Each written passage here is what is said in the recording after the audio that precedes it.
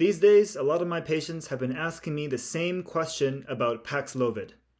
Why am I not eligible?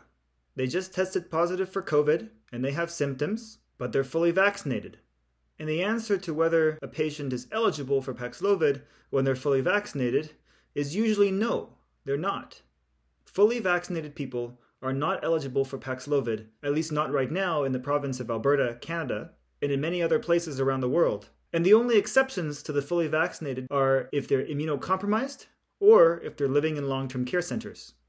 So, why are they not eligible? This is not some administrative rule trying to ration the drug. This is actually based on the science. You see, the original study published on the effectiveness of Paxlovid studied two types of people people who have COVID antibodies already in their blood and people who don't.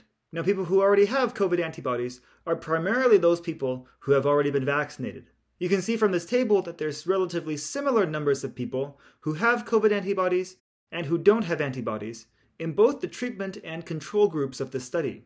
Now jumping to the subgroup analysis of the results, you can see here that in people who do not already have COVID antibodies, Paxlovid caused a large and statistically significant drop in hospitalizations or deaths.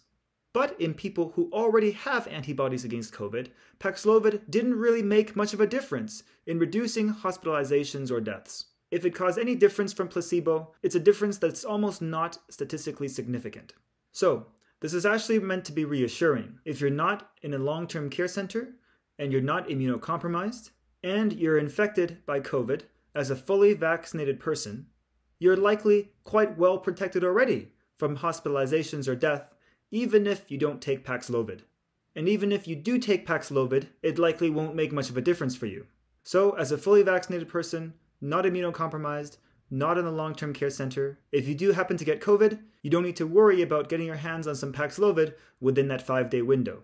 Now, I hope that's answered that most common question that I've been asked these days. If not, let me know in the comments below. Of course, this is all just for educational purposes and not medical advice. If you have any questions about your own personal eligibility for Paxlovid or whether you might benefit from it, you should talk with your family doctor. Take care, everybody, and stay safe.